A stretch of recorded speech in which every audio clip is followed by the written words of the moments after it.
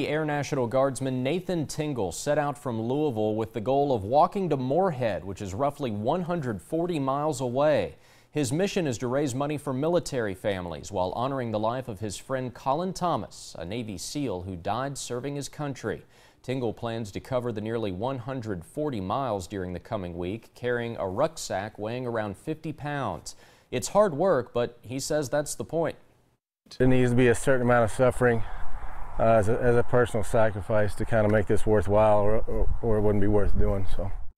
Tingle says he plans to make it to Morehead by Friday in time for a charity golf scramble in Collin's memory.